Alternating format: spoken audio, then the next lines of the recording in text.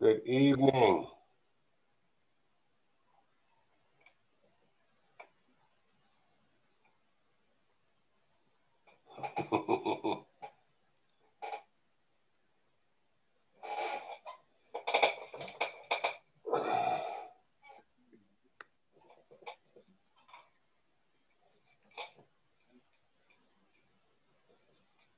Hello? Hello. Hello. Hi. Hi. I was just checking. Uh, okay, okay. I want to go wisely. Testing. Hear me? Yes. Uh, hold on. Oof.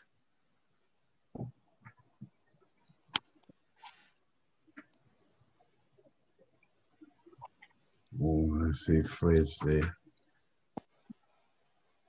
Hello, can you hear me? Yeah. Yes. You can? Wave if you hear me. Hey. Okay. Hey. Now I gotta. Mm-hmm. Uh-uh.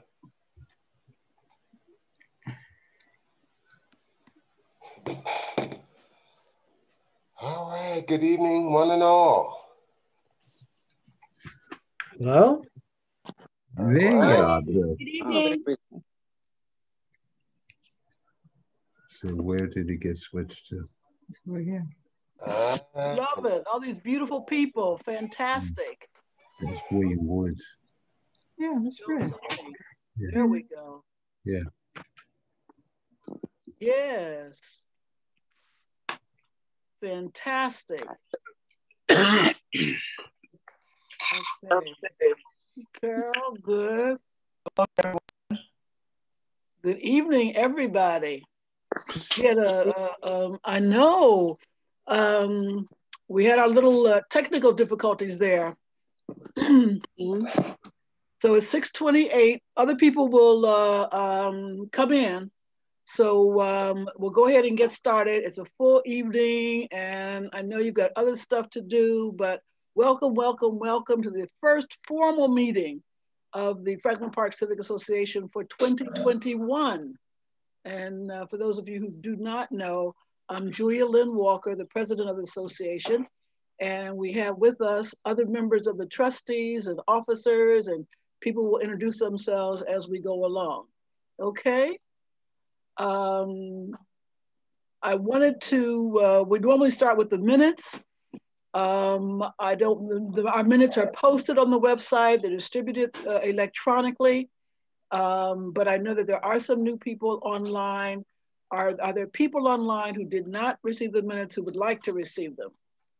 And um, you know, there's a little thing uh, at the bottom where it says reactions, and you can um, uh, open it and you can put your hand up, or you can put a thumbs up or thumbs down, or raise hand if you have a question. And so that's how we'll kind of. their use of force is different. Exactly. I'm sorry, I heard a question from somebody. that there's not universal reporting. So that's something that, that I think, you know, we're trying to compare. Well, did you hear about this at uh, Quinlan and um, Ginther or on uh, Charles? Okay, is, does someone have their mic on and they're talking to someone else? What what happened is, uh, Andy, uh. Okay, who has the, the uh, who signed in as Sheila? Oh, for charges against those people? Who, who signed in as Sheila, please? Because I believe your mic is on and you've got another conversation going. Okay, thank you. Okay. Um, all right. Are there people on the line who would, who did not see the minutes and would like to see the minutes of the last meeting, which would have been December as we had the mingle in January? Otherwise, um, okay.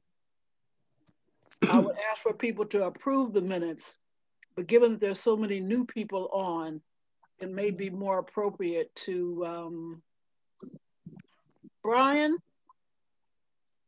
Brian on? Yeah, Yes, I just got on. It took me forever to get on. I know, and you were gonna be the host. Um, do you want to read the minutes, please? Out loud. well, that's, that's what I thought. But if that's an onerous burden for the secretary, uh, we can hold it till, let's hold it. Yes. And let's move to Tammy because she may have another appointment and we are moving right along. And we you can think about that and we'll come back to you, okay?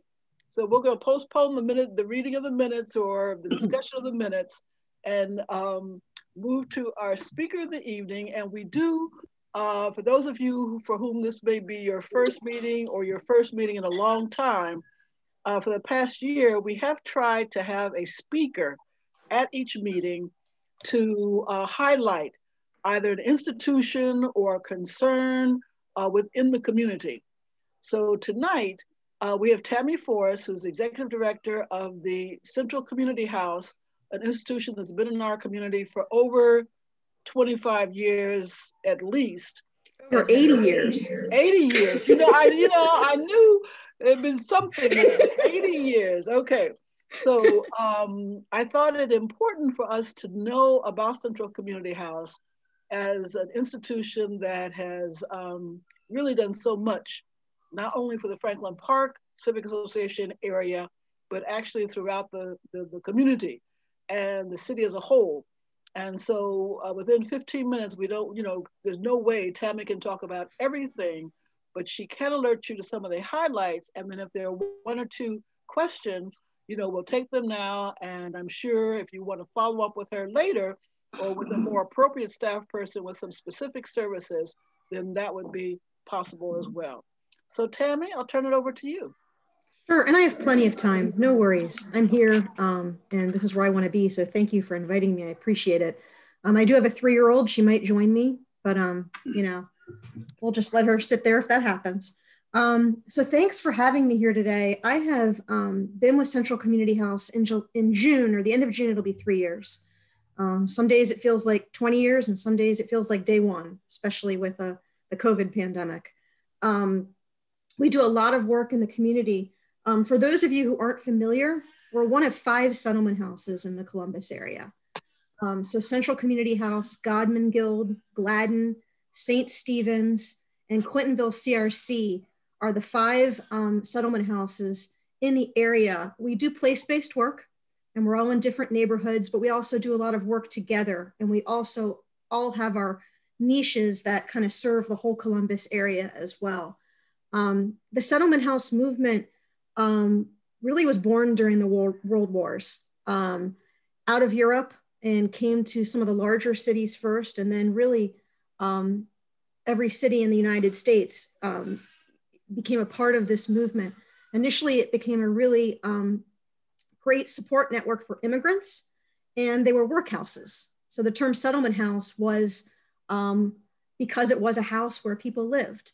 And also, um, the social work movement was born out of the settlement house movement. And the field of social work came out of that um, support network that lived, uh, those individuals that lived in those homes and provided that wraparound support, that comprehensive support um, that individuals needed to be successful. And it was a very successful model um, and adapted over the years um, to really become support in those central city neighborhoods across the United States. Hull House is an example of one that's famous. Um, so Chicago and New York, you're gonna see some of those really important roots. Um, and the idea is that, that we, we react to what the neighborhood sees as a need. Once, sorry. Um, so we react to the unique needs that are in that community um, and respond to the individuals that live there, um, but at the same time, really try to provide that comprehensive support. So we do a lot, um, and that's why it's hard to talk in 15 minutes, but we also don't do it alone. We have hundreds of partners, and we, we do work across, I would say, five or six different areas, depending how you define it. Um, we're known for our youth programming, and that entails our after school and our summer camp programming. Right now, um, we've adjusted and having a learning enrichment center on site where youth are doing their, um, their virtual learning from our site. We do have open seats. So if you know families that would like to take advantage, I think we have a couple um, of having their kids elementary age in the Learning Enrichment Center. We'd love to, to welcome them. Um, traditionally, it's an after school program. Um, we typically serve 40 kids in, in the summer, 40 kids during the year. Our summer camps all day. Our after school programs after school. We offer healthy meals. Our focus is um, getting kids to a place where they're going to graduate from high school and social emotional learning. Um, and that just the right now, what's the most important thing is having an opportunity to interact with other kids and have fun outside of school. So we're really trying to offer um, creative activities um, that are fun and therapeutic all at once. Um, the transit arts program is another aspect of our youth, pro youth programming. Um, serves middle school and high school youth, though they have really championed um, virtual learning for us during periods where we needed that and have been working with um, elementary aged youth as well. We had Inventors Club over the summer where we delivered supplies to all the houses of the kids that were participating and then did virtual activities. Um, we're doing less and less virtual activities now because the kids have had enough of it. Um, and we're looking forward to bringing kids back on site. Um, hopefully, we're really hoping April or May. Um, and that's going to be connected to the COVID pandemic and where we are with that. But also, um, to be frank, we're doing a million dollar investment in our Main Street building right now. So we've got a lot of construction people there. So we're also going to time it based on when those renovations are complete. Um, we've got two locations. We've got our Main Street facility, and then we've got um, our Bryden facility. We call that the English um, Community Center. And that is where Transit Arts sits in the carriage house back there. And we've moved our senior program. You may notice our, our seniors are all at our Bryden location now. We did that because that program has grown exponentially. Um, and we needed more space and we wanted to keep folks safe right now and, and isolated from where the kids are. So our transit arts program was born out of the hip hop movement, visual arts, dance, poetry, spoken word. If if a youth wants to do it, we will make it happen. And it's, I mean, I'm biased, but it's state of the art. I think it's the best arts program in the city. Um, one of the first things I did when I came and I, is is brought some of the leaders from from communities that surround us, trying to build relationships and let them know who we are and what we're doing.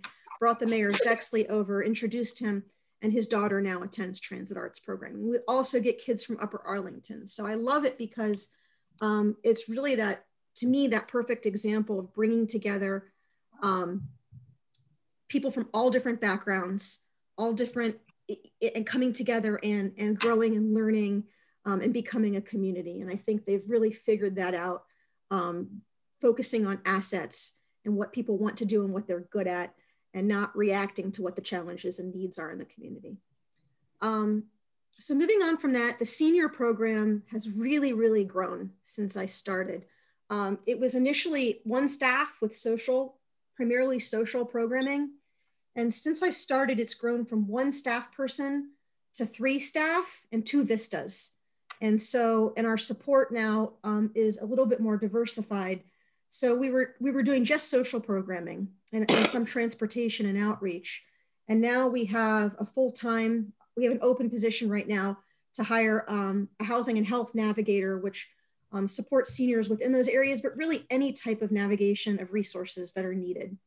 Um, so if you know someone over the age of 60 that really needs anything in the neighborhood, they should come to us, whether it's fun, um, social activities, whether they're needing resources we do have a pool of funds that we have that we can use. Um, and it's, it's kind of cool because it's not just like rental assistance, utility assistance. We can buy running shoes for people if they want to start, you know, walking shoes, start walking or running. We can buy art supplies. We can buy books to be in book clubs. So we've created this Sunshine Fund, which is to bring really just joy into the life um, of the seniors in our neighborhood during this really challenging time. And to be frank, one of the reasons we rebranded it that way um, understandably, is our seniors are very proud. Um, they, they don't want crisis and basic needs support. They want to hang out and have fun. And we know that. And so we, we, we turned it from, from, you know, essential like crisis bags, I think we were calling it. And we turned it into a sunshine fund. And we said, hey, what do you want to do? What's fun? And then when we drop things off, we do stoop visits and we see, do they need a home repair as well? Is there does it look like there's some other challenge or maybe they'll talk to us about health challenges or something and we try to, to use that um, as a gateway into providing all of that other support if they need it as well um, we also have availability to provide um, it's a lot of the residential facilities um, around the South Side and Near East where we pick seniors up in the morning hours and we get them to the grocery store so they can do their grocery shopping. Um, we tried to do online and we tried to set up Kroger accounts, but nope, people want to buy their own groceries and they want to pick them out. So that's been a really important service during this time and we get it. Um, we do a lot of deliveries. And so we're able to deliver things to homes and we're able to transport. We also can provide Lyft service to seniors for free. We have limited services to go to doctor's appointments and things like that. Um, if you ever need something for a senior, don't be afraid to ask because we've got a lot going on right now. Um, so social, case management, um, outreach and engagement, transportation, and education. We do, we have two programs, um, two pilot projects. One is a technology project. Um, we've purchased Chromebooks for 40 seniors and provided 18 hotspots and created a virtual program that actually is moving, it's, actually hitting um, a lot of folks more than we anticipated. Not enough, because we serve, you know, 200 to 300 seniors a year. Um, but to get 40 regularly interacting through book clubs and crafts, it's been wonderful. We actually hope to keep doing that um, on top of the, the um, on-site services, even when um, we transition back, because it's just been valuable and it's another way to interact. And we hope to get at least another 20 Chromebooks out over the next year to add folks into that program. And we contract with an amazing group, Eventi, who teaches um, basics of computer literacy and then gets into how do you use Zoom and all that stuff. Um, moving on to entrepreneurship programming. This also is a new program since I've been at Central. It's called the Academy for Community Entrepreneurs. Um, and it is a place for ideation and early stage businesses. Um, before this position, I worked at ECDI for five years, and that's an organization that helps businesses get up and running. And one of the things I learned there is ECDI is not accessible to everyone and not everybody's ready for it. And so to me, this was an important stepping stone for businesses to get there. They're our partner for access to capital when people need investment. And OSU Extension works with us too. But we provide a full, a full curriculum where individuals are leaving with a business plan. And the focus is job creation um, and increasing revenue and getting businesses up and running. And we try to use those businesses when we need to buy things for, for, our, for our business as well. Um, that originally also was was meant to be a place where artists who kind of graduated out of the transit arts program could take their trade to the next level. And so we do have a cohort that just are those transit arts graduates trying to figure out what can I do? What can I do next? What's going to make sense for me? And some people just gain skill sets, whether it's financial projections to help them in life or to help them in their own business, or they become successful business owners. We get a little bit of everything. Um, it's also enabled us to have some more financial literacy classes, which are accessible to anyone who wants them, and budgeting and things like that. Um, our next area we call um, family strengthening or family stabilization services. And those are the services where families typically come in in crisis. Um, and our goal as a settlement house, unfortunately, a little bit of a failed goal this year, to be frank. Um, but our goal is to have two tiers of services. You come in in crisis, we, we get through the crisis, and then you become family. And we do ongoing support. And that ongoing support can be, you know, participating in bingo night. It can be participating in fun things. And it also could be getting into a parenting class, which has been a really important service that this year in particular with the stress around COVID. Um, and we hope you know coming to eat dinner with us monthly celebrating the holidays with us getting your kids enrolled in our programming. The goal is to serve the whole family. If we're doing our job we're working with mom her mom her kids grandkids and we're interacting with them um, because that's how you really make impact and that's how you really create strong relationships and consistency. Um, so we've got case management services we, the end of last year, I mean, in a two month period, we got out um, almost $200,000 in rental and utility assistance in a two month period. And it wasn't enough.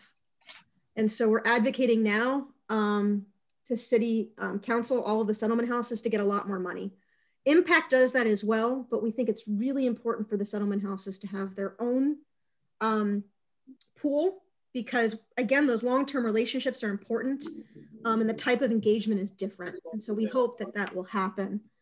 Um, trying to think what else there. So anyone's eligible for those family strengthening services. And then finally, the community services. And that's really anything that's open to public, anyone of any age. Um, that would be our children's parade that we do once a year. That would be um, our Christmas programming, our Halloween programming, um, our monthly meals. Um, I know I'm missing back to school bash where we provide school supplies to kids before they go to school. Um, so that kind of explains those areas where we do work. It, it, certainly is more than that, but I think that gives you a taste. And I'd rather stop now and answer questions and have time for questions than talky, talky, talky, if that's okay. so are there any questions from anyone? Yeah, I have a question about these financial literacy classes. Mm-hmm. Are they for anyone in general, the community, or like people who are interested in starting like their own business or their own side hustle? They're for anyone. I will tell you that the two cohorts that participate the most are those who are accessing resources like rental assistance or something like that.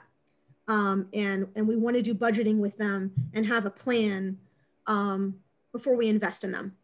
And, and, and we typically almost always invest in them, particularly right now, but we think it's important to know where things are going. Now, the financial literacy classes that are part of our entrepreneurship program, anyone can go to those. And I would suggest anyone who's interested in better understanding how to um, budget, save, plan for the future, that class is amazing. Susan Colbert of OSU Extension and her staff teach that class, and I don't think there's anyone better. Um, so anyone can attend those courses. And you'll see we have flyers that say um, business finance, and then under it, this is for anyone too. Don't let the name scare you away. Uh, okay. Yeah. Uh, um, how often does the entrepreneurship group meet, or when do they meet? Gosh, that program is one that um, hasn't died down with, with virtual learning. We're serving hundreds a year. It's ongoing you can enter anytime during the year. The challenge is so it, it's um it's tiered. You go through stages. You start in, you go into an orientation where you learn about the class. Then you go into um, something. You, you take an entrepreneur assessment, and this teaches you what kind of entrepreneur you are. So you might know you want to work with food, but you don't know if you want to cook it or sell it or market it. You know, what do you want to do with food? And you figure that out, and that can help you in your career too. That assessment's amazing. Then you move on and you participate in something called business model design. And we lose people through each of these stages, but losing them isn't necessarily bad because they got what they needed out of it. So you go into business model design, and this is also great for anyone, but it's particularly artists because it's a visual plan. Mm-hmm. So you're building your model visually and moving things around as part of a cohort, as part of a class. Um, after you do your, your visual model, that is reviewed by the instructor and they talk through that and then they decide if you're moving into the business planning piece. That's the part that not everybody can do because each cohort probably can only take up to 15 but i'll also say they haven't been filled. We've usually had 8 to 10 and okay. so it's a process to get through all of it and i can't remember. We still have i mean we, we have two cohorts this year. One is one of the cohorts has started now and those first three classes you probably could take all of them and then there's going to be two business planning cohorts this year still I hope I explained that well. are the classes in person or are they online? Uh, uh, they have historically been in person. Now they're all online. Um, this is the one area where we found in some ways we've been more successful with virtual, in part because of the childcare and transportation variable bar barriers and the flexibility. We will end up having them on, on site again, but it's not our first priority of programming to bring back on site. So are you are you offering any classes on Saturday? Uh, any any of the programs? Um, we offer. I think some. You know, I think some of the ACE stuff is on the weekends, and I and I believe we do stuff in the evenings. We have um, like socialization programming, just fun stuff that we do on the weekends too. But I will say that a majority of our programming is during the week, during the day, and during the evening hours. Now, if we see there is a great need for Saturdays, we um, tested Saturday programs for a little while and they weren't hugely successful when we were on site. Like we were doing yoga and some exercise and it, we weren't getting a lot of folks. Um, but 100% open to it if you think there's a need in a specific area that you'd like to see. All right, thanks. Mm -hmm. Okay. So anything else? All right. Well, then you know, uh, um, she can put her email into the chat. Um, you know, you can, okay, wait a minute. Mick and Megan, this will be the last one. Um, you know where to find her on Main Street, uh, and then the arts are, and uh, seniors are basically on Bryden Road.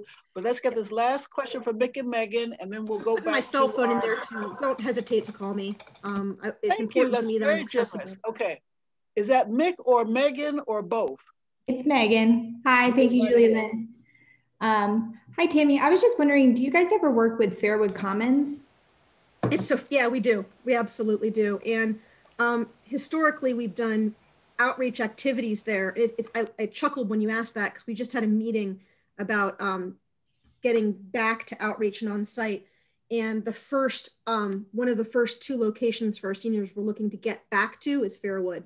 And um, our senior program program coordinator is about to reach back out to them to see what their COVID requirements are, what their guidelines are, see that they're kind of up to par with what we're expecting, what we expect at our facility, and then also um, understanding if it's feasible.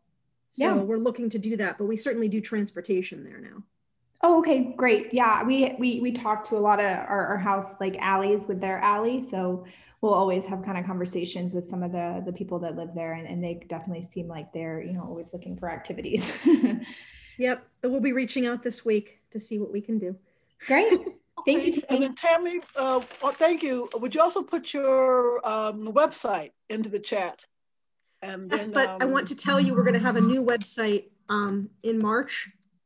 So there's Okay. not, it's not as updated as I'd like it to be, and it's not as great as I'd like it to be, but there's going to be. No problem. We're, we're all in transition.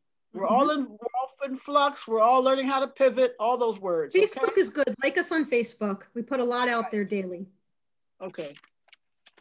Okay, fine. Well, thank you very much. Glad you were able to attend, and I found that was very informative. Um, some of the things I thought I knew, there are more things, and you know, and I've got to go back to the new and the old website and just look more closely at some of the things that you, the programs that you have to offer. Okay. We're Anytime you need me, I'm here. Any questions you have, call me, email me, um, and feel free to share my contact information with others if they're looking to reach out. Good. Thank you very much. And uh, Thanks. um, also, uh, uh, you know, as an organization, an individual, and as you're attached to other organizations, think about supporting uh, CCH financially. You know, uh, every donation, you know, no matter how large or small, is useful. It can be in kind. Um, there may be cash. Maybe it's a hookup with something else, a program you know about that's doing something. You know, just keep them in mind. And now that you've known some of the uh, programs, maybe there's something that you can connect that would help to make, uh, you know, it basically strengthens them. It strengthens our community. So just Julianne, there's one other thing I wanted to mention before I leave. Uh-huh. We just got a huge investment in, um, um, I can't, I'm so embarrassed. What's it called when you do a, a raised raised beds? We are installing, gosh, like 10 huge raised beds at Bryden. I think they're 10 feet by six feet or something. They're going to be enormous. Um, we have lots of potential for amazing gardening. We're seeking volunteers. It's going to be amazing. And I know, Julianne, that you care about Right, that. you know to that's my heart, and you know. But also, uh, we have on our our agenda tonight a discussion on the community gardens in our area, and so I know Richard. I can see him laughing. He's added you to the list, and so yes, you somebody will be in touch with you because They'll you be installed in March. They're being built right now. We can't Okay, wait. because we've got all kinds of options and, and, and right now I'm coordinating volunteers. I got an email today about volunteers. So yes, all of that, it's all very doable. Okay. Cool. And we're planting fruit trees. That's wonderful. That's, that, uh, that's enough- please. The rest of the meeting will go on garden. So we're not doing that. Pull back. I'm pulling back consciously. No more discussion. Thank you. Okay, well, I'm gonna I'm gonna check off. Thank you, because I'll talk Okay, too much. Have all a right, great we'll keep evening, that in everybody. mind. Okay, good. So Richard, you made a note, I know. All right. Uh, Brian, are we ready with the minutes or shall we uh, send them to people? And we'll hold them for next week, next month.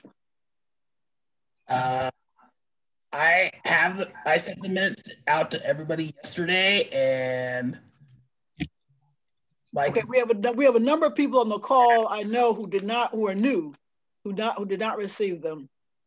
so, and my computer is taking forever to open up Word.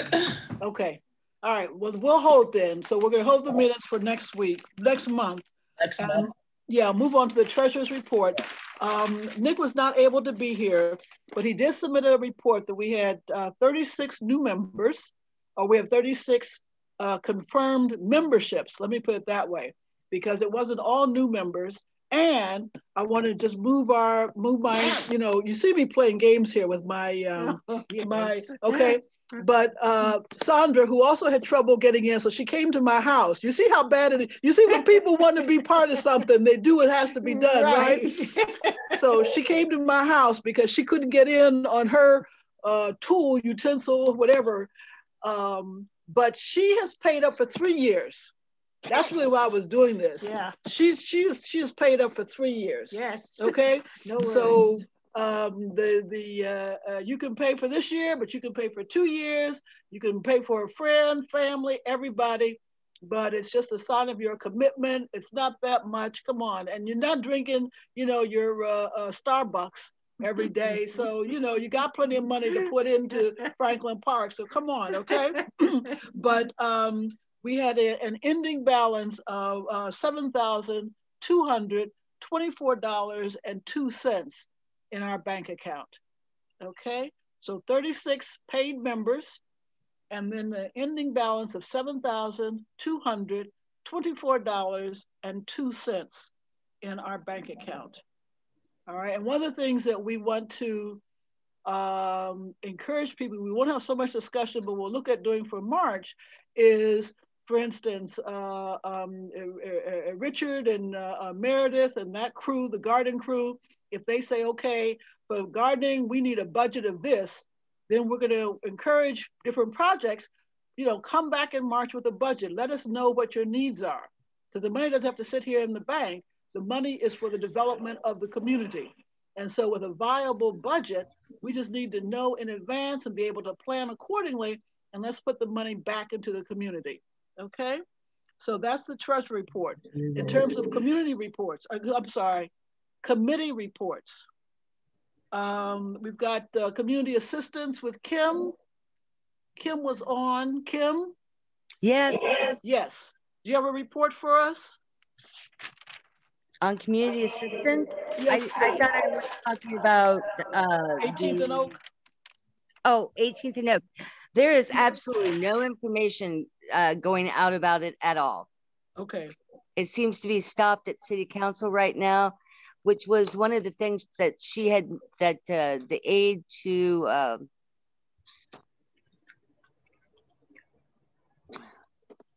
the The step- yeah, uh, had said that, uh, you know, they didn't know when it was going to come up before city council.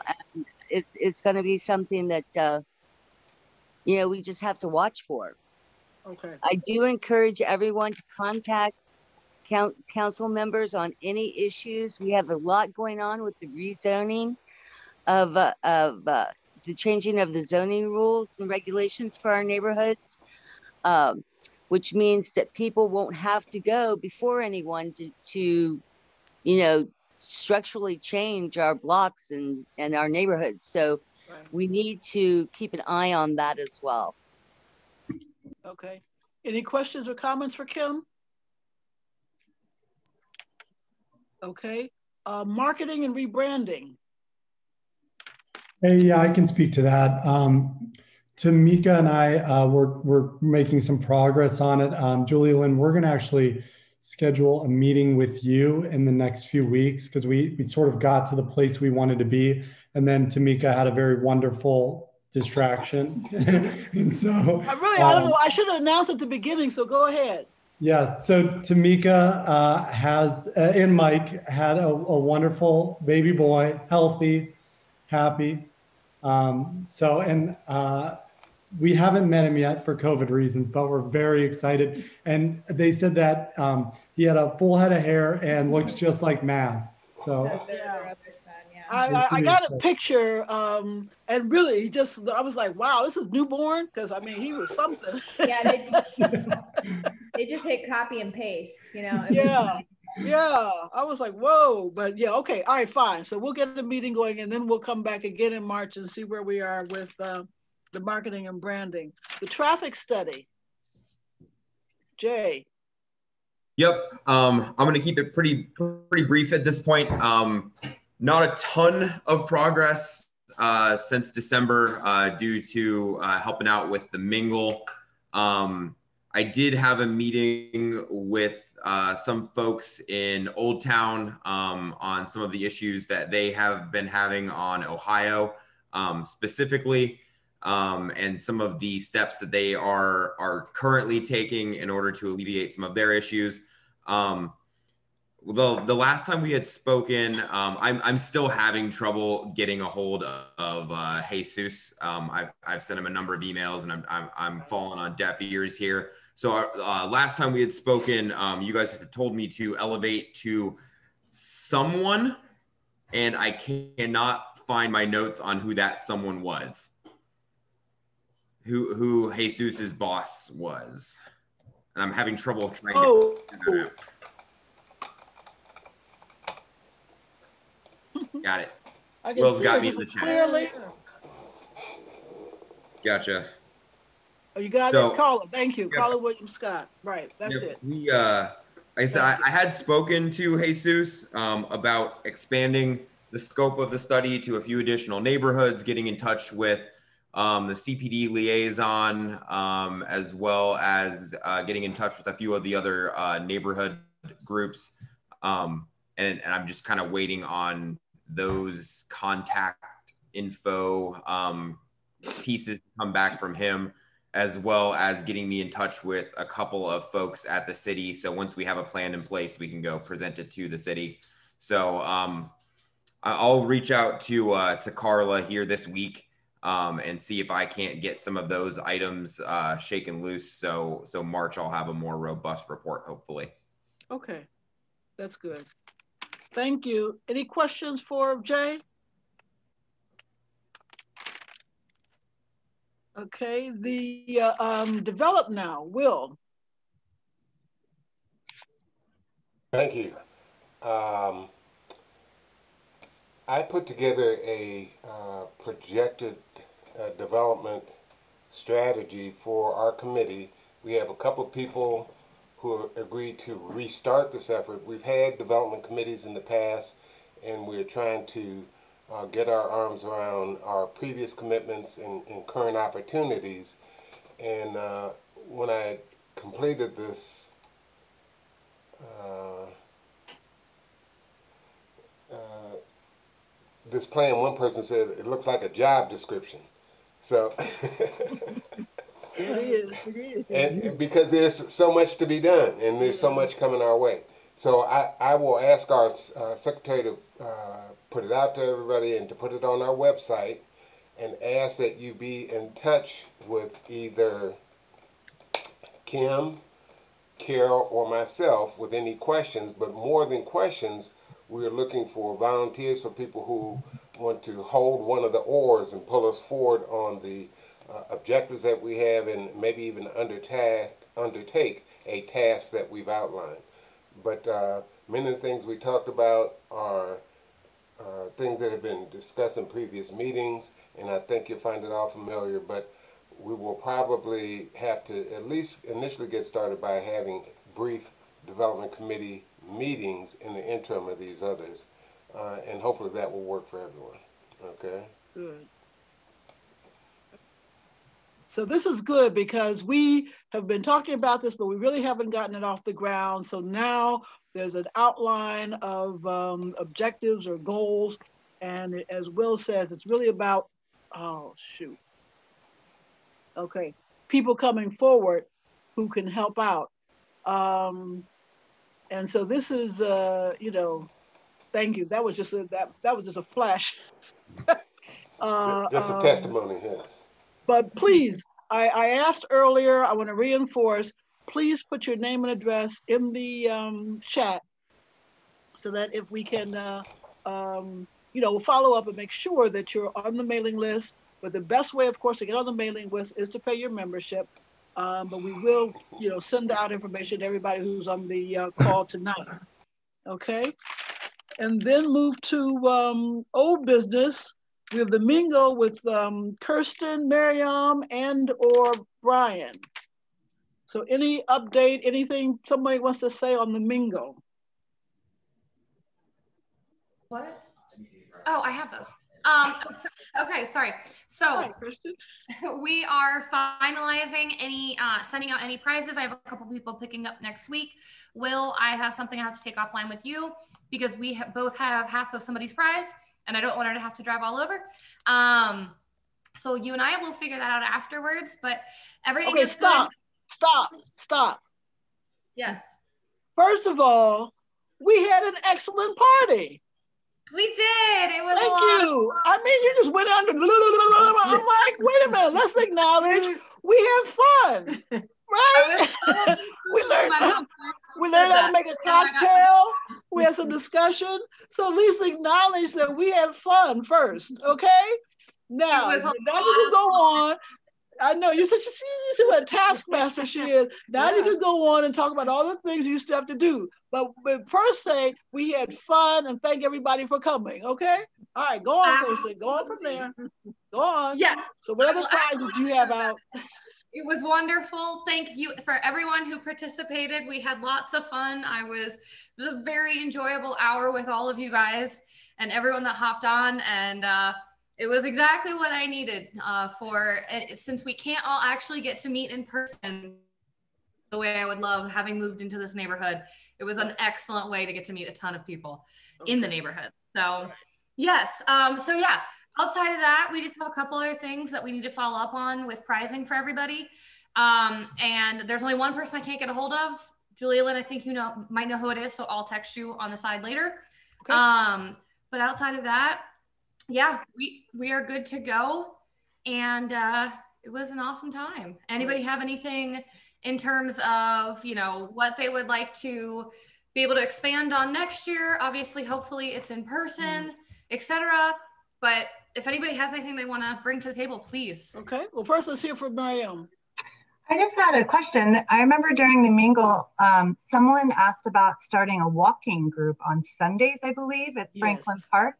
And um, I don't think anyone followed up with that. So I wanted to get Well, it was one of those meet at noon at the corner of Franklin Park West and you know Fair Avenue and whoever showed up. And I think the next Sunday there was a terrible snowstorm, if I remember correctly. Okay, yeah. there was some serious snow, and I wondered about the dog walkers as I burrowed beneath my covers. So Yeah. I don't know because I don't have a dog, but I did wonder. But I do remember now. I want to say the next two Sundays there was a lot of snow, but definitely the next Sunday there was some snow. So I don't know, uh, and it could be something that you know we just put out on our Facebook page and on um, the. That's what I was uh, wondering if we should forum. Circle back. I, that's what I was wondering if we should circle back to see, because I love walking. I've been enjoying this. The sunshine. It's been, I went for like Oh, a, today was beautiful. it's so amazing. Uh, I, yeah, I don't know who who that was. I don't, that's what I was going to ask if anybody happened to. block. Um, Elaine is her first name. Oh, Elaine Walsh, was that her name? Because I remember the Elaine name. Parrish, because she's right here on Franklin Park South. Oh, Elaine Parrish.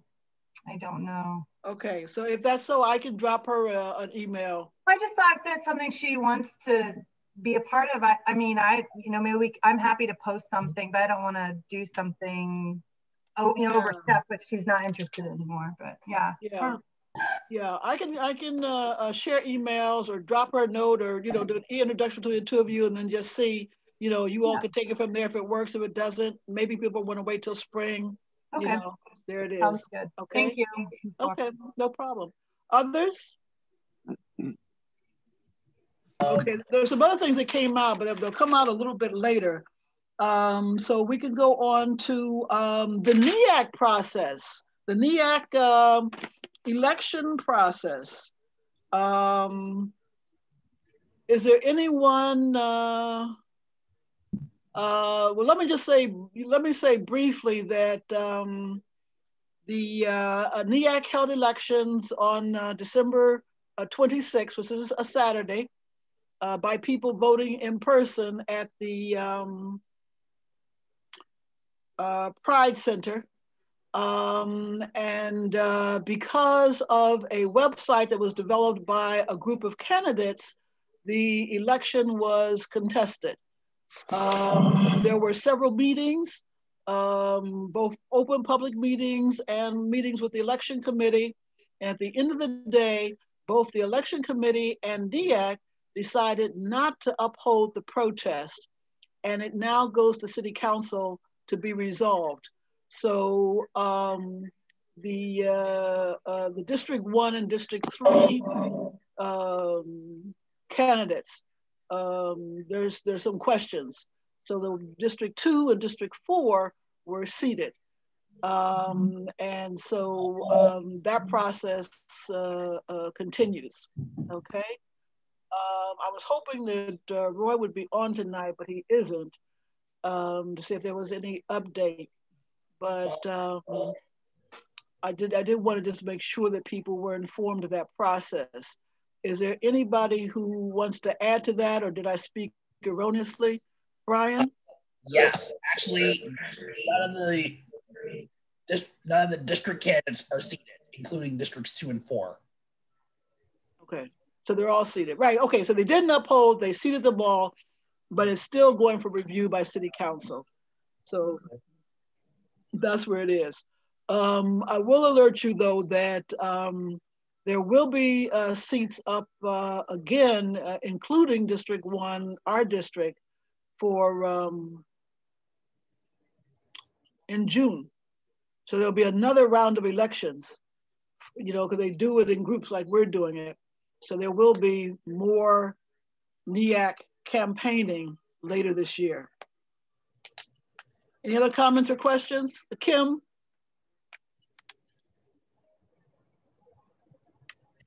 Kim? You're still muted. Wait, okay, we're, can you hear me now? Yes. We're, we are District Four, not District One. Sorry, District Four. Okay. Okay. And I spoke to a, uh, a, a candidate from three tonight and they are not seated. Mm.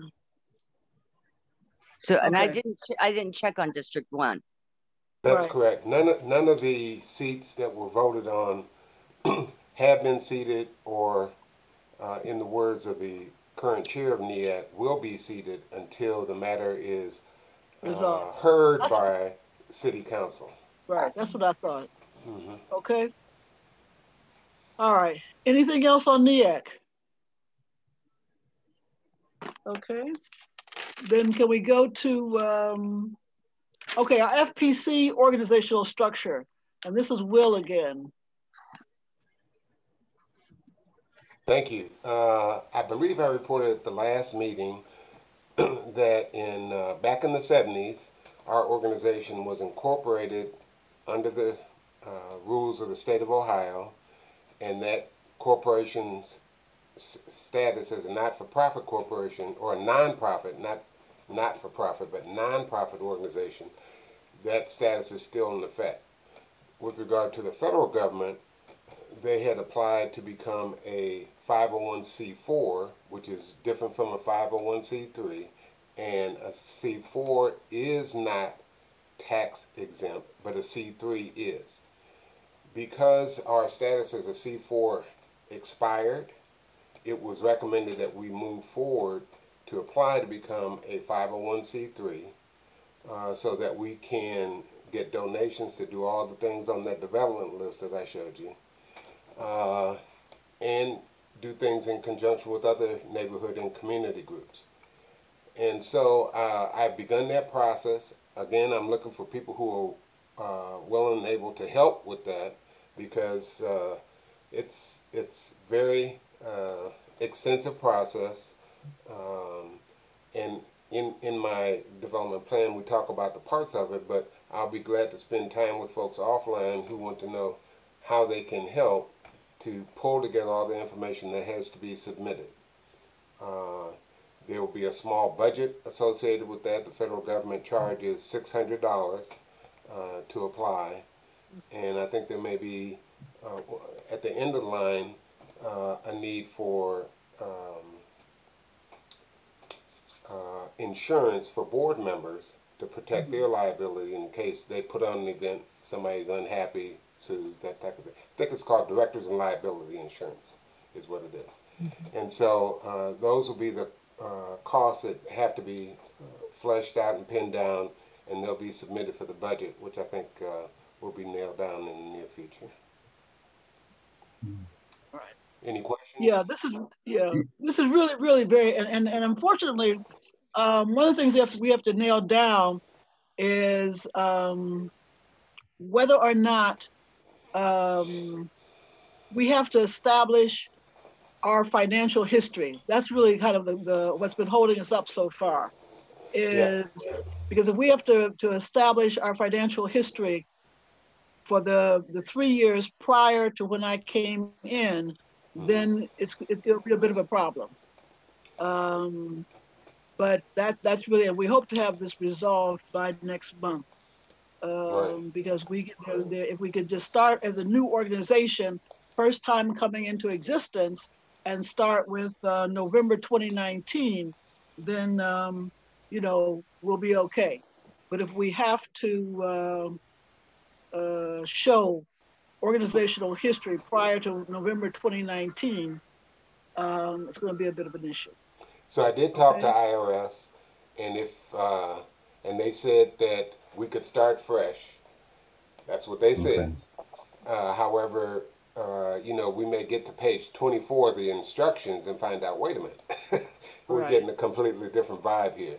So unfortunately, I think the people who answer the phones aren't the ones who evaluate the applications, but we'll find out and, and do what we have to do. Yeah.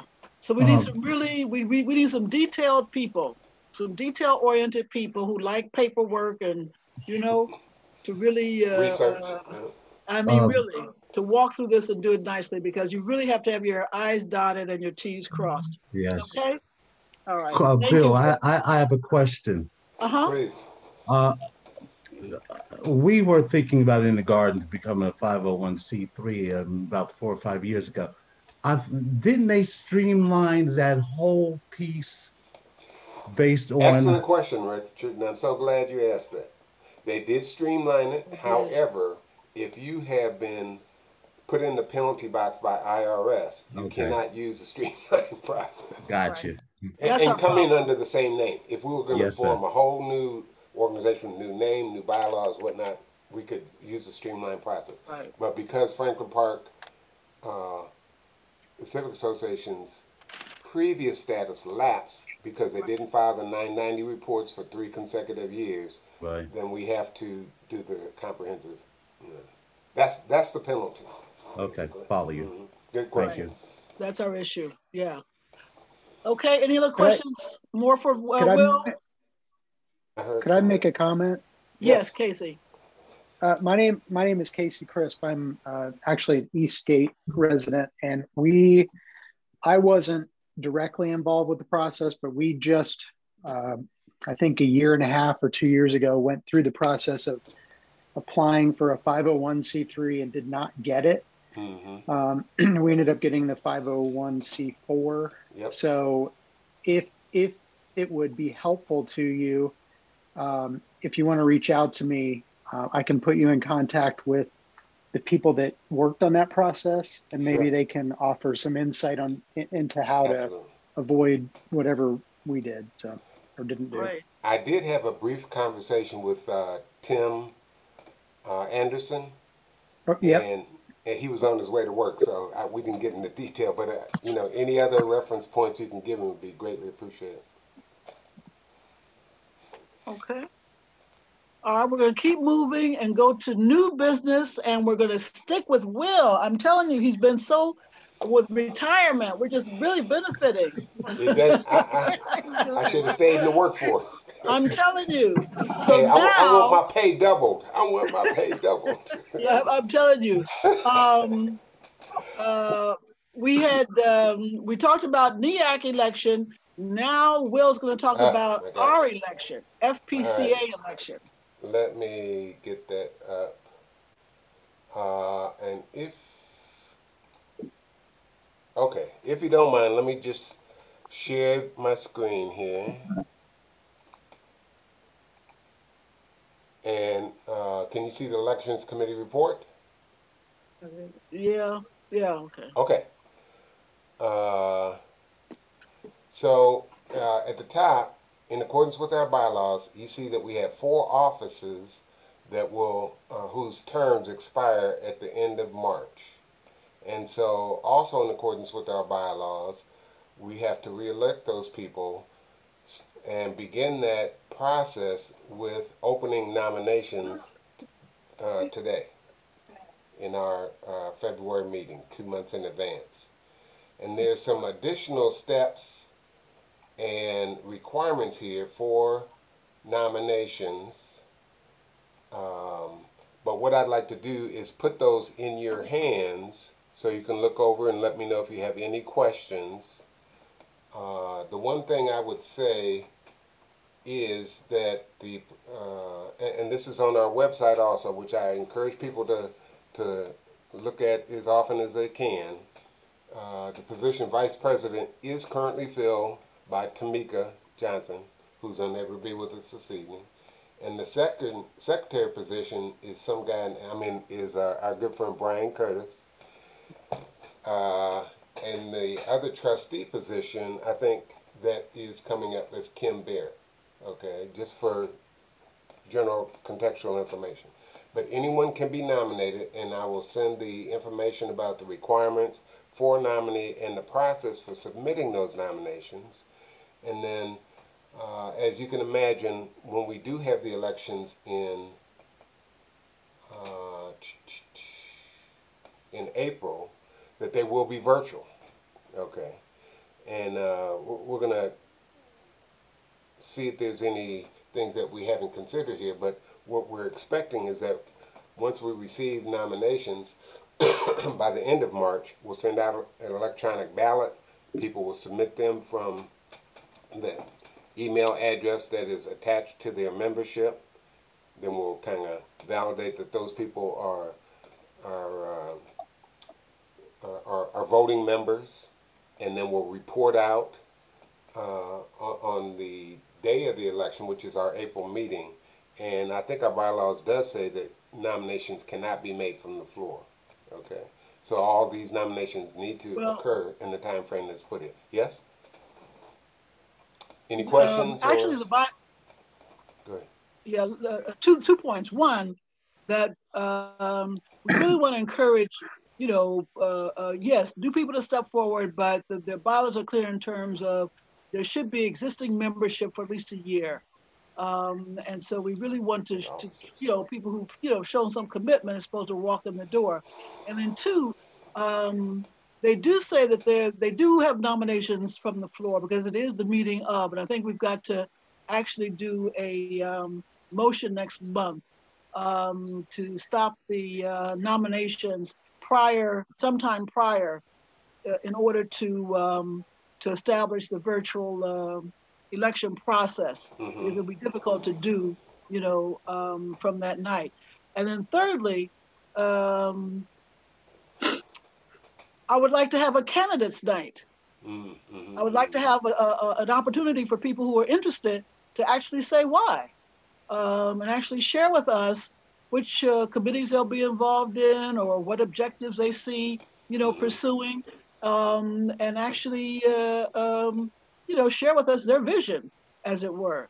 So um, that that candidate night uh, would be sometime, um, you know, say the second week of April, um, to give people who are interested in all the positions, and it wouldn't be at a meeting; it would be a separate candidates night uh, for people just, just to share with us, the, the community at large, their vision. Okay, Kim, do you have your hand up? No. Okay. That was from an earlier. Okay. All right. Other questions or comments on the FPCA election process? And, and Will will get that out along with the minutes from Brian uh, for the rest of the night. Okay, now Richard and Meredith. Meredith's not on, but Richard is on. Anissa is on uh, for the community gardens. Hello, my name is Richard Harris, and this is my wife Joyce Harris. We've been long-term residents since 1978. Um, I have been a member of the Growing Hearts and Hands Community Garden, but we started out as a um, care group from New Salem, Missionary Baptist Church. And as a care group, we got organized in our church and we did many things. Pastor said one day to us, we got to get up out of here because we all about about 120 care groups in our church. He said, y'all just sitting in church doing nothing. You got to get out in in the community. So we went out into the community and like uh, the first century uh, Christians, we met in each other's house.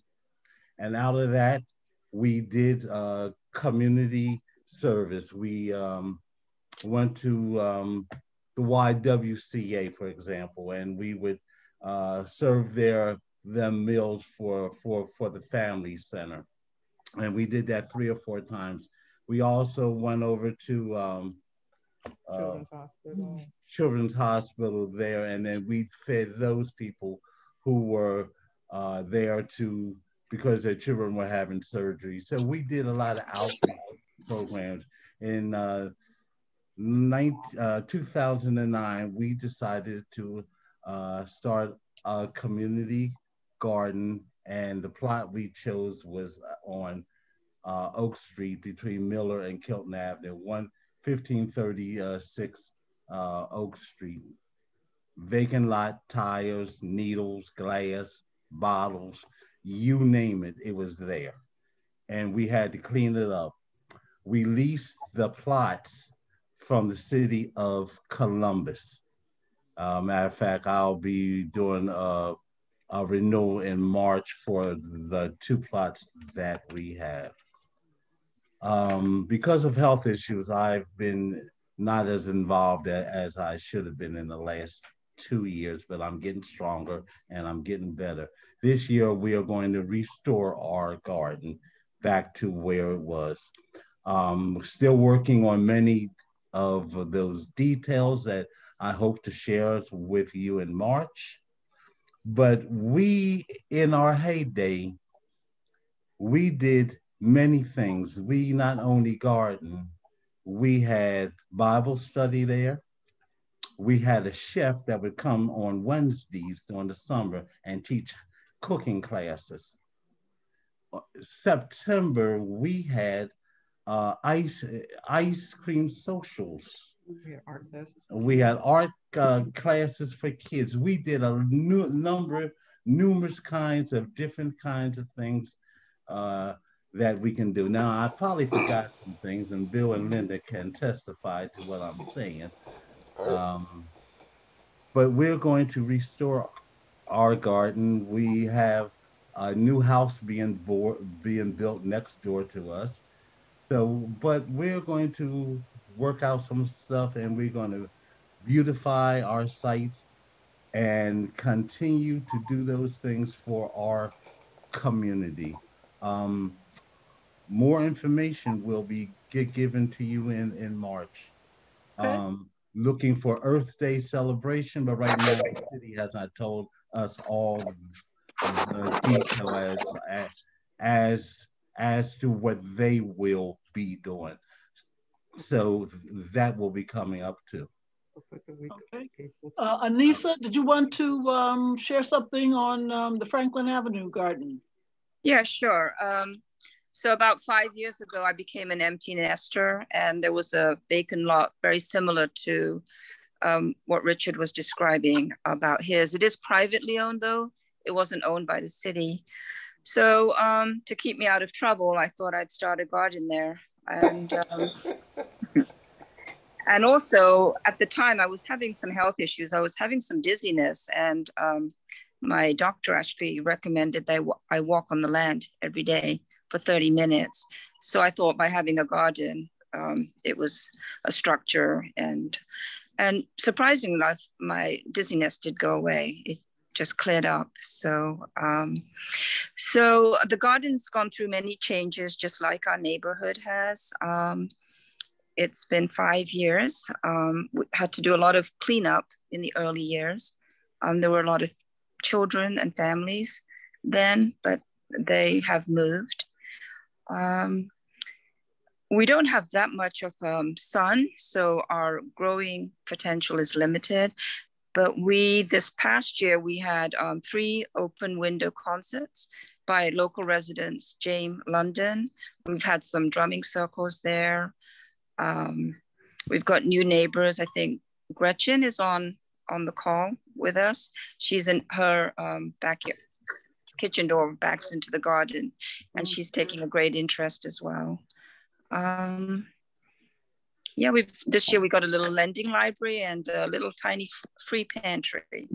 It's a little greenhouse and it's got some canned goods in it so far. Um, I've got um, a kind of a roommate who's staying with me in a school bus and she's a farmer. So she helped out last year with the community garden. Um, so we're looking to take it up a notch and um, I'm I've heard something about um, the city maybe zoning um, community gardens and residential areas to do a farm stand. I don't know where that stands right now, but that would be, what's that? They haven't signed off on it. They haven't signed on it off it yet. Okay, but that would be nice to do something.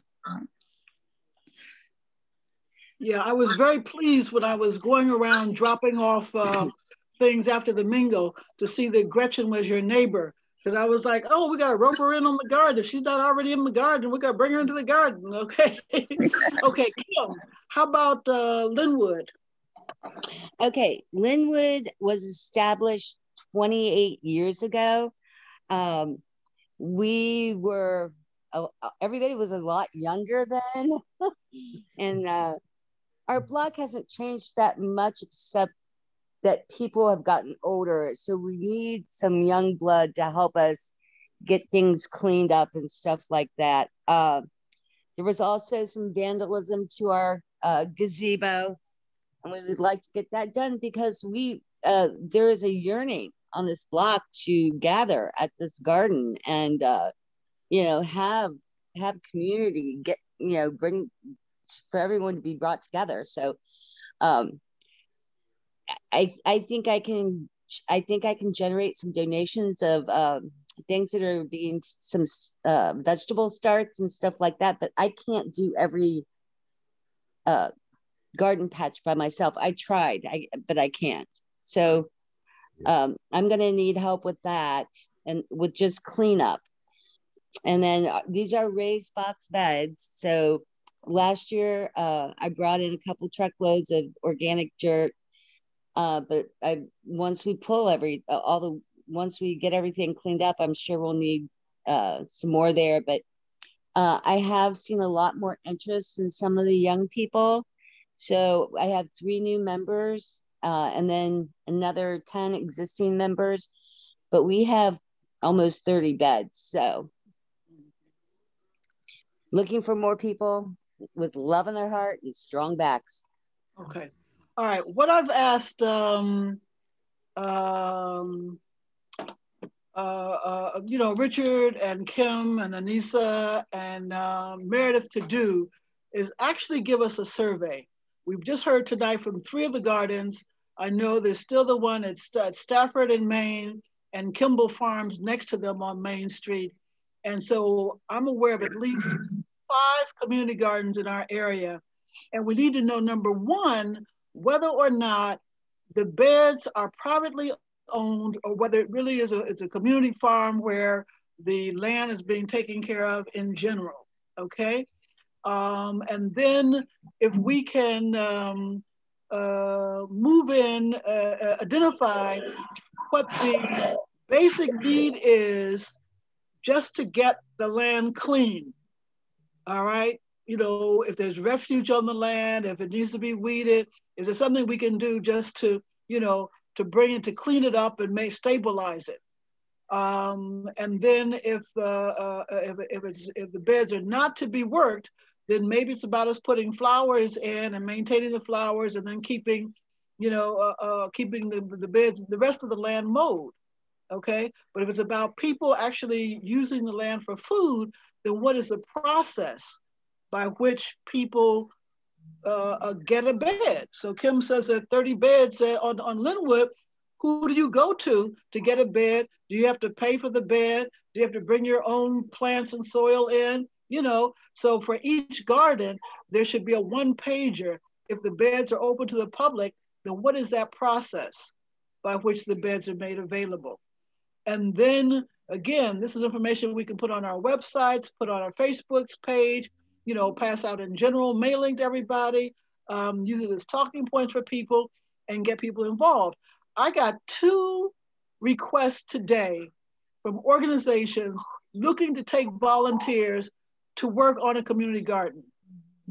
I got two requests today from groups that can be anywhere from 10 to 30 people.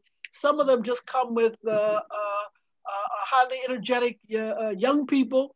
Others actually come with um, their own equipment. You know, others will actually bring soil, or if you need something repaired, you know, uh, um, you know, they'll bring all the tools that are needed to repair it. But you have to be very clear about what is needed, how many, and the time frame. And right now, a lot of the organizations, and where I'm getting the request, um, they're looking to schedule schedule things for April. April's the, the jump off time. It's Earth Day, and it's it's people want to do something, and people have been locked up all winter, and it's time. So you know, uh, right now my Saturdays are booked from the middle of March through uh, the end of May.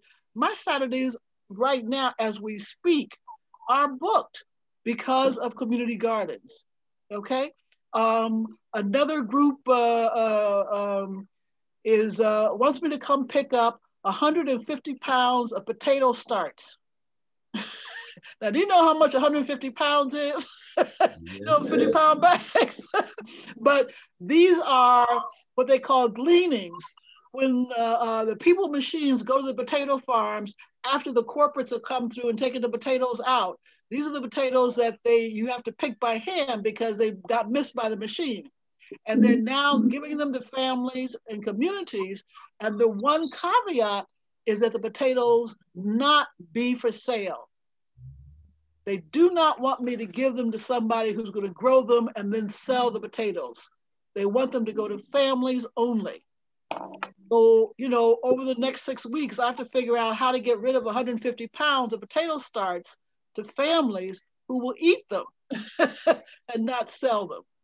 Okay, so I'm saying that the, the, uh, uh I just want to Im impress upon you that this is a very serious aspect of our community and one that can bring a lot of, um, uh, uh, uh, of joy as well as good health, as well as positive community interaction, as long as we think about it and plan for it and act accordingly.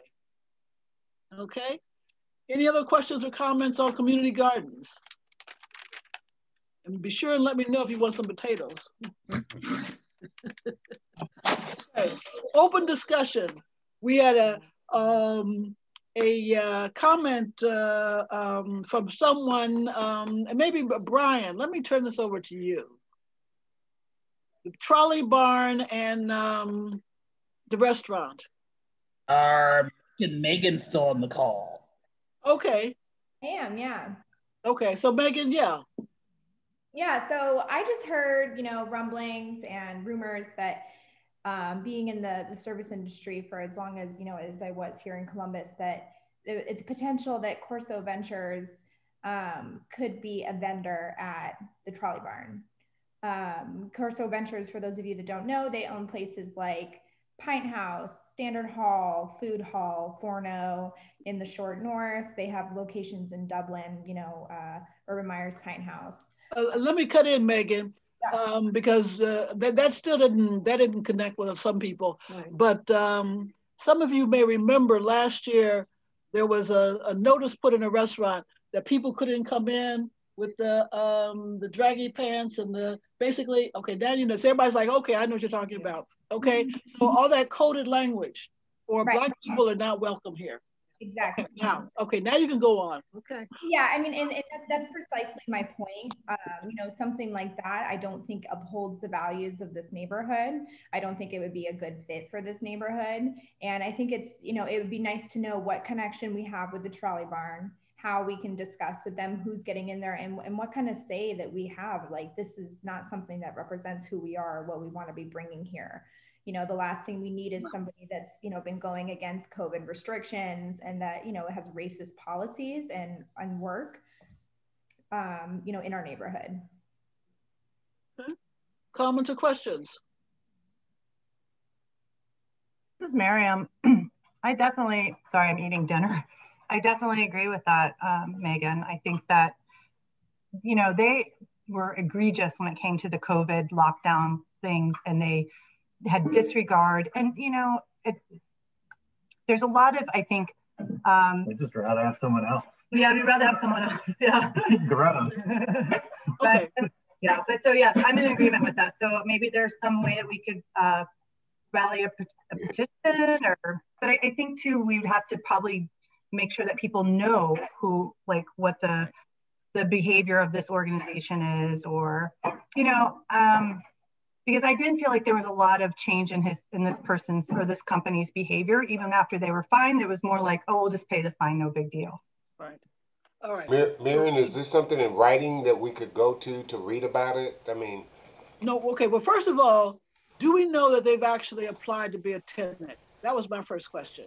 Well, that was kind of what I was bringing, you know, I'm, I'm not gonna go and, you know, I might be a little to, to pull together a petition or something, but I'd like to know who our contact is now at the trolley barn. I know that the guy that came on previously mentioned that they were hiring someone new, like a project manager. right, uh, Right, and, and that she would be our new contact. So it'd be nice to reach out to her and see if there's any information she can provide us about vendors. Um, and letting her know that there's certain, you know, there's certain things that we're looking for, uh, in this neighborhood, in like, that we're bringing into this neighborhood, it needs to be positive. Yeah, okay. Let me get uh, Kim in. Um, I, I think that we can reach out to Jeff and, uh, you know, voice our concerns.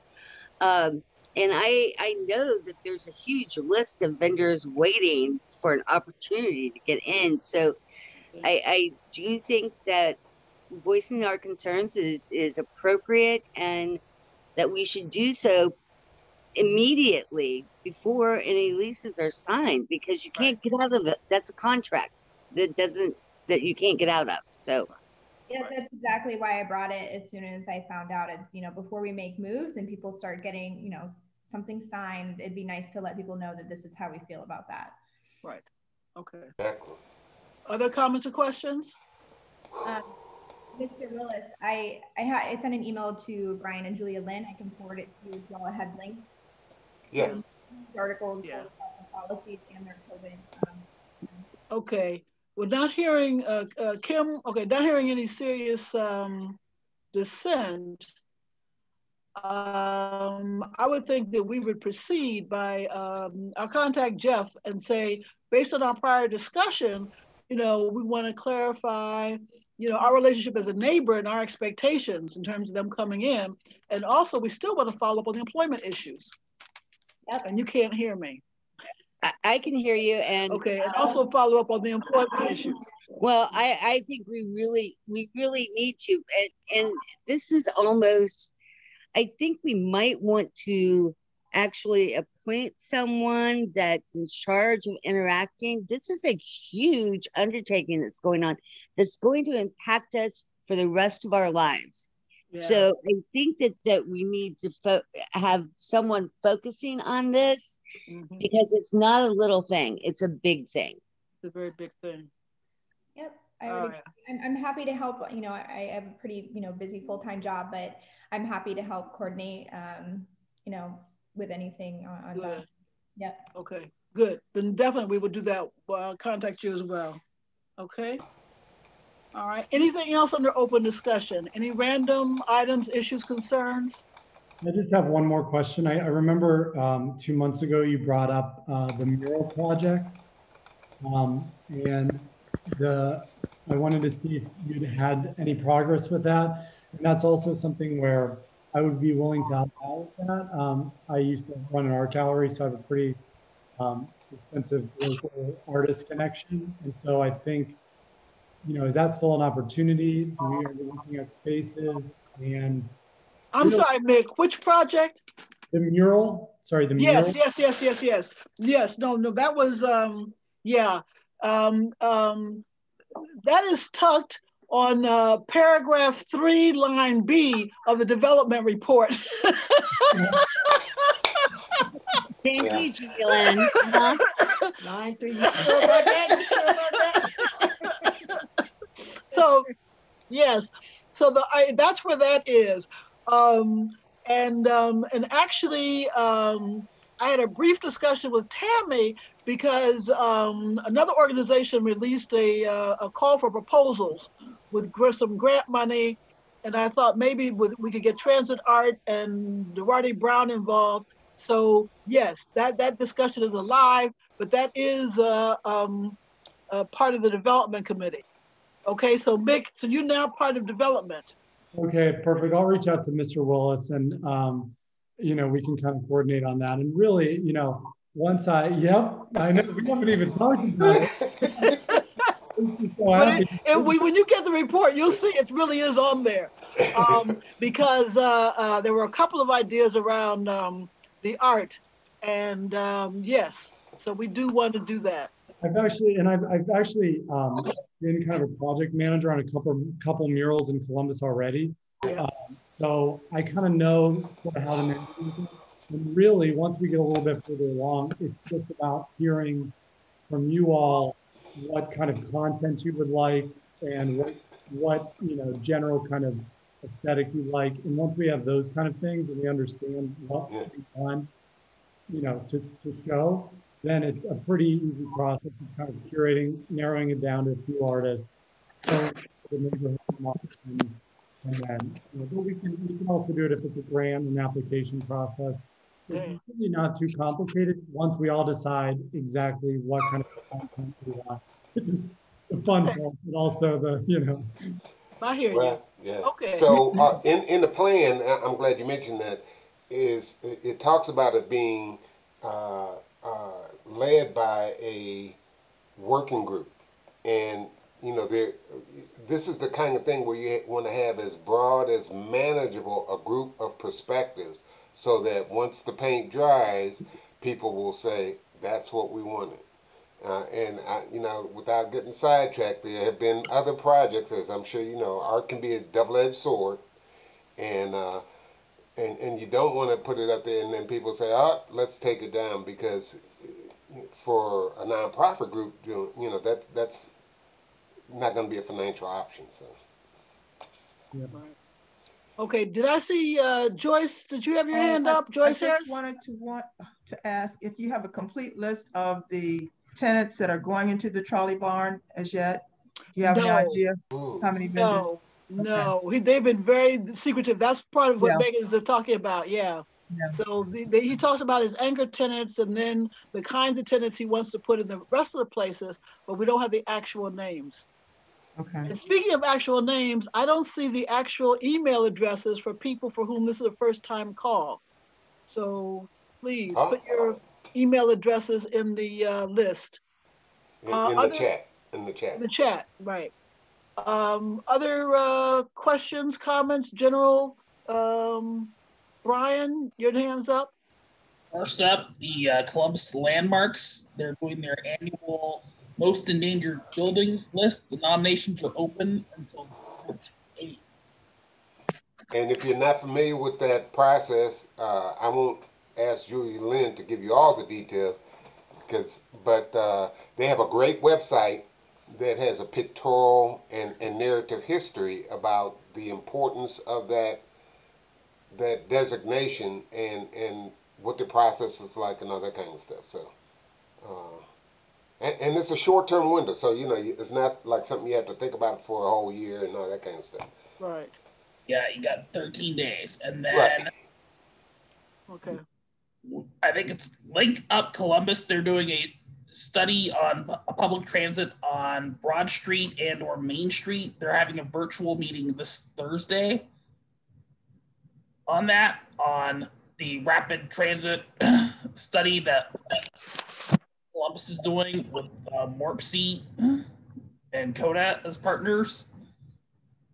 So how does that relate, if I may, Brian, how does that relate to the uh, espoused uh, intent of the legislature to withdraw money from municipal bus systems. I was going to bring that up next. Okay.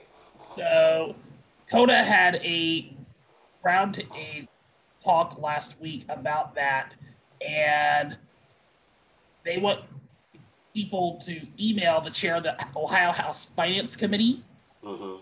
and let their voices be heard. And I can try to put that in the chat before we close up. It's also quick. on, on our Facebook site. Mhm.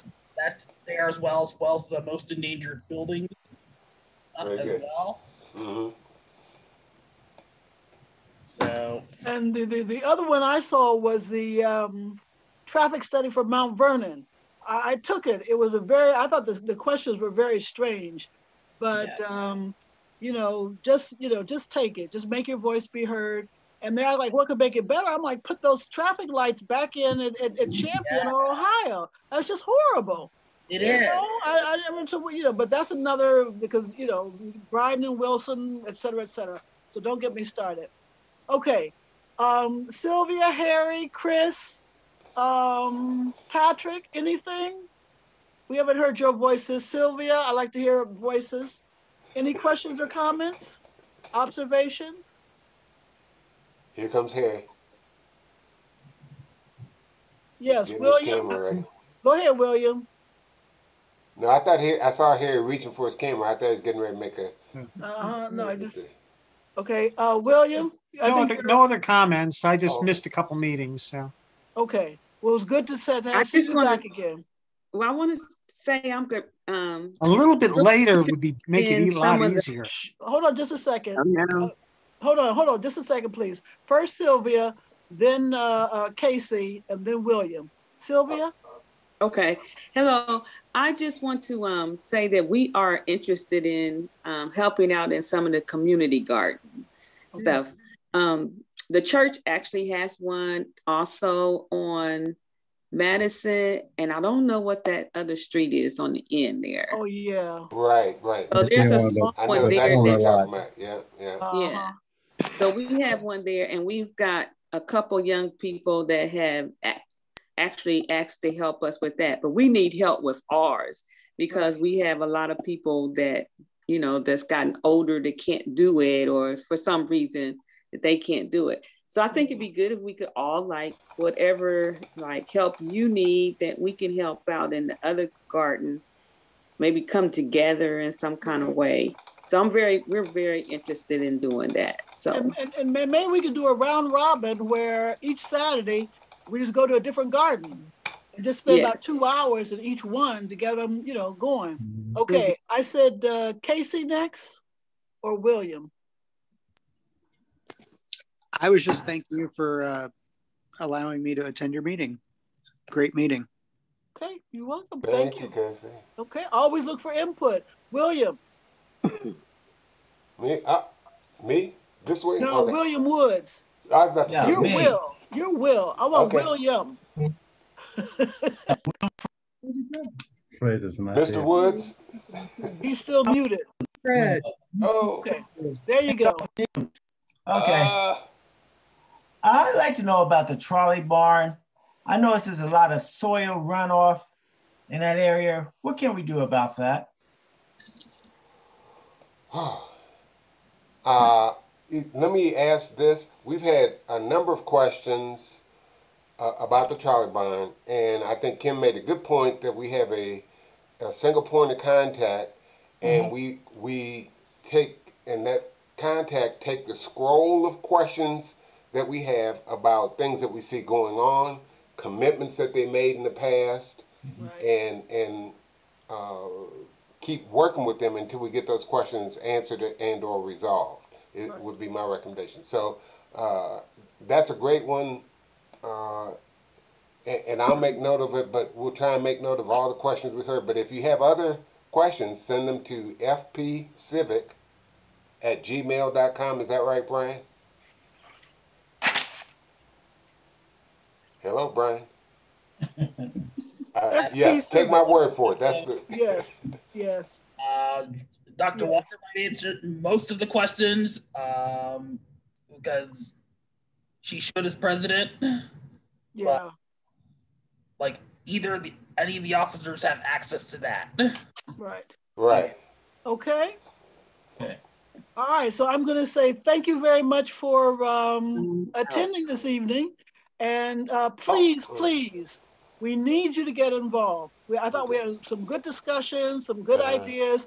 Um, uh, there were a number of things that Tammy said tonight that I thought, wait a minute, we could be plugging, you know, into that. There's some people in the community. I don't know that people are taking advantage of some of those programs. So, you know, there's always more to do. That's the bottom line to that.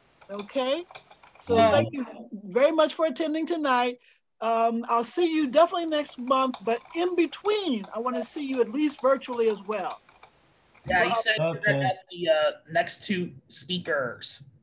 tonight. Yes, next week, uh, next month is uh, Frederic Bertley from COSI, and then um, Matthew Goldstein from BESA, the um, corporate support group.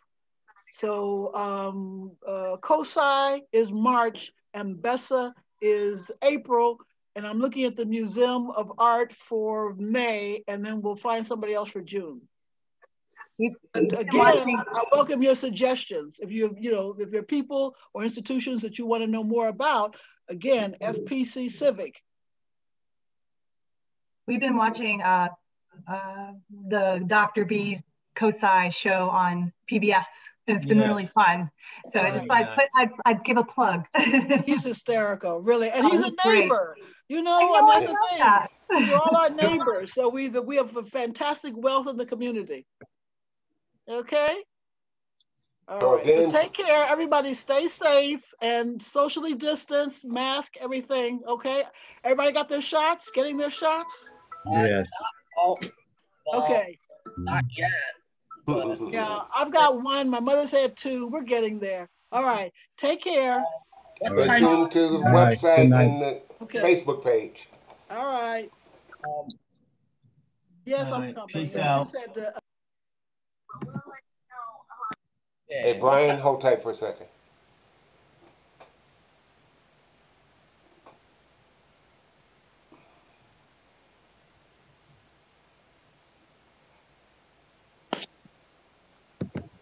Okay, Patrick.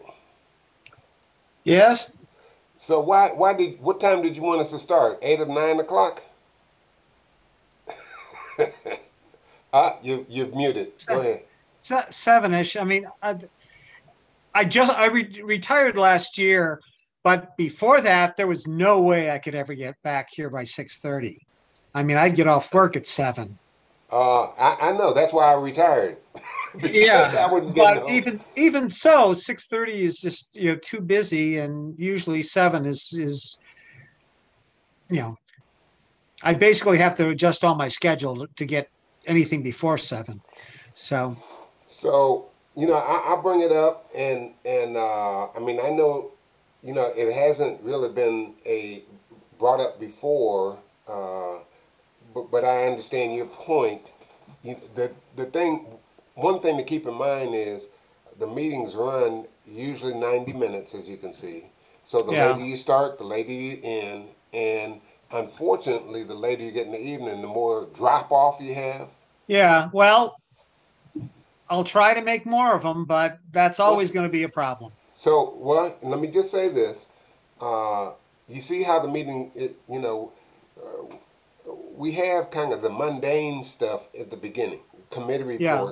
So we're, we're Julia Lynn's on our back to get these reports out to folks sooner so they can be familiar with it, and you won't have missed anything. I won't make any analogies to church or anything, but I'm just Okay. saying. Yeah. And, and so that the meat of the meeting really kicks in around seven or what have you. The other thing I would say is we're experimenting, and hopefully this won't need to be for the rest of our existence, with recording our meetings, and then we'll be able to store them on our website. So if there's something you want to kind of go back and see, that's what the recording is for. In addition Okay. to minutes, you know, uh, people like uh, what's his name? I think he has a class. Nick has a class now on Tuesdays. So Mhm. that that will be the the other alternative. So uh, I mean, it was no, it was no big thing. You know, I, I'll try to make more. expression on your face like you were going to thunk somebody. No, that's just. I know, I know, I know. It's never. It's kind of like having children. There's never really a, a, a best time, you know. Yeah. Because I haven't had dinner and I'm I'm hungry as heck, you know. That too. from from running around and whatnot. But uh, but I I think by by this combination of things, by getting our committee reports out earlier, uh, earlier relative to the meeting, by having a recorded version, and and you know aiming for hitting the important parts by closer to seven. We, we can stick to that 90 minute time frame without it starting too earlier and not ending too late. Okay. Okay. Brian, you have any thoughts? Um, we'll see what everybody else thinks. But I know, yeah, that's what I told him. I mean, some people unfortunately go from our meeting to another meeting. Yeah. you know, so uh, but but we'll see. And uh, you know, as we get more into this committee frameworks, some of the more uh, really important discussions will be at a committee meeting, like a development committee or an activity committee. Like we had a bunch of committee meetings last uh, fall on on the Mingle, you know, Mm-hmm. and and uh, you'll get to know people a little better that way, I think as well. You know, where you're working, actually working on a common task, that type of thing. So it's it's a- it's a balancing that, but we appreciate you uh, speaking up and raising that point. So Well, I, she asked, so. yeah, I know what don't ask, don't get. But uh, yeah, don't drop out on us. Don't don't abandon us. Don't get Okay, no, the. I'll, I'll still try to make them, but like I say, if Uh, I'm, I may be coming in at seven then, yeah. Oh, I understand. So, hey, tell me this. Now that now that you've got my ear, I'm gonna get your ear. So, Okay. what part what part of the neighborhood do you stay in? Um, I'm Franklin Park West. Uh, we're, I'm three houses down from Dr. B. Oh, okay. And I think Carol, our next Yeah. door neighbor, was was on earlier, and she yeah, dropped yeah, out. Okay. So, and and that's exactly the point. You know, Carol was talking about. Uh, you know, a lot of people in our uh, in our age group don't use internet and all that kind of stuff. So we're talking about a way to reach those folks. And I, my guess is people talking to their neighbors. I mean, I don't know how long you've been there. I've been here 45 years, and eight Uh, eight years now. well, but still, you know. Yeah. So o- over that period of time, you get to know people, and I'm hoping that will be a really valuable way that we can share information and alerts is uh, by talking to neighbors, as opposed to necessarily running around dropping off flyers or just Mhm. relying on Facebook and all that kind of stuff. What do you think? That makes sense. You know, I'm Okay. I, I worked for the university for 30 years, so I've been, you know, on computers most of my adult life. Yeah. So, um, either you have or you haven't. That's right. Yeah. yeah, um, of course, it always changes. So, you know, Yeah. but, Yeah. Yeah. but what can I say? Yeah. So, you know, we, we definitely want to uh, engage. And I, I mean, you make an interesting point in, terms of what you do vocationally, in terms of thinking about how to how to reach people and stuff. So, uh, but I've been running more and more people say, "Hey, I don't, I'm not on Facebook." I'm like, "Oh, really? Okay." Yeah. yeah. So. Eh, Not on Twitter. Just Yeah. that that's too small. That's too short. I did, can't do that. good, good, good. Well, thanks for hanging around and, and Okay. with us. And, Oh, and um, I'm a past president of the Ancient Order of Hibernians, and we were we also went through is going through that 50C4 and three. good. I was never the the hands-on person, Oh, but I I am somewhat familiar, and I know people that did do the hands-on. So if you know Sure. something that might be of some assistance. Okay, I, I will put your name down as a, as a reference, you know, because, uh,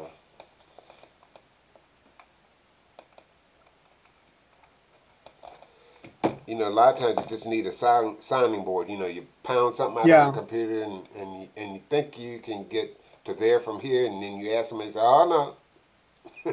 Yeah, I mean, but it's and it's changing because you know, seven years ago the IRS never even bothered to you know track this stuff down, and uh-huh. then they started enforcing it. So Yeah, that's true, and Yeah. that's still can a moving target, obviously, with new Yeah. staff, new direction, all that kind of. Kind of yeah, and it'll change again now.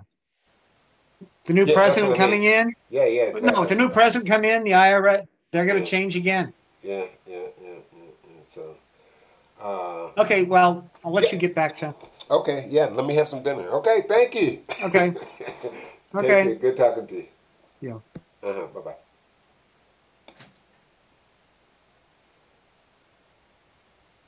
Okay, so Brian, I don't know what happened at the. Well, number one, I asked Julie Lynn, did she specifically ask somebody to start the meeting? Which I was uh, a little annoyed that she didn't make that direct ask, because you know I'm thinking you're gonna do it, you're thinking I'm gonna do, it, and Nick wasn't available. You see what I'm saying? So, a, I would say uh, that's something we ought to pin down before the meeting. Now, you you know the password to get on the site? No. Uh, I don't have access to like, the FP Civics Zoom account. Well, I'll give it to you. It's very straightforward. I mean, it's you just go in and you put in the email address, and it's FPCA four three two zero five.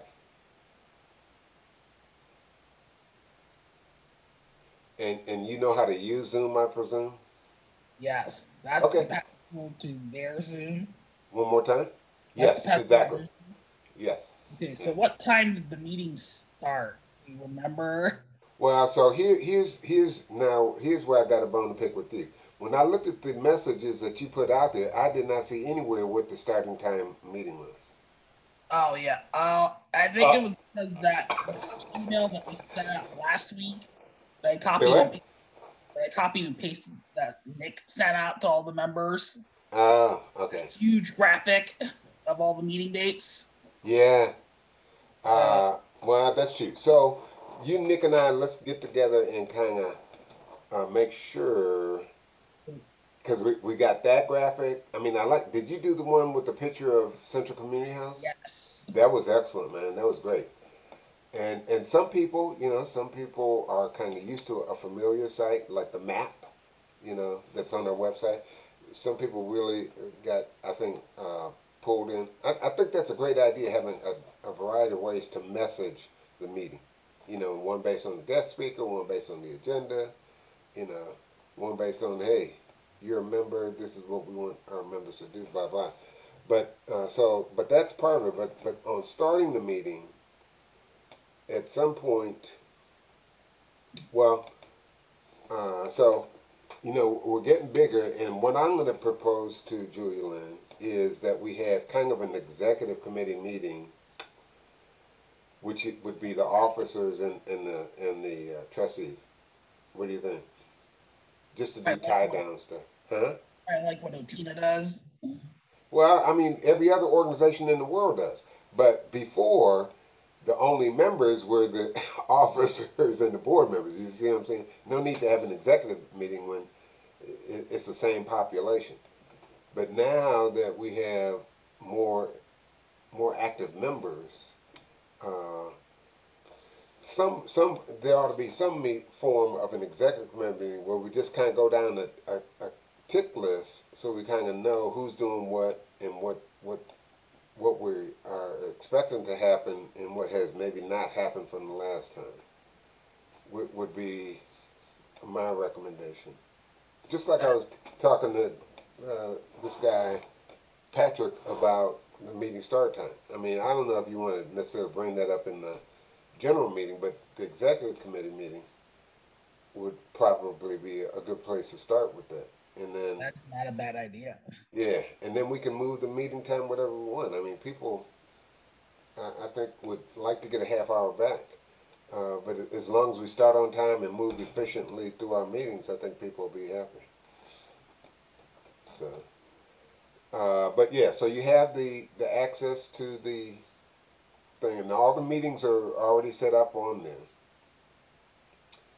there. all you have to do is hit start. but I don't know what the heck was happening. If it, I was nervous and fat fingering it because I was looking directly at my phone where it had the address and I was kind of typing it in. Uh, and maybe I shouldn't have done it from my app, you know, because uh, uh, uh, maybe you are aware, maybe you're not, that there's kind of two aspects to Zoom. One is the app, and the, and the other is the website platform. And you can sign on on either one, but you can do set up more of your controls on the website that you can't set up on your app. You know, the waiting room, message people get in the waiting room, whether they have to be in the waiting, all that kind of stuff you set up on the internet.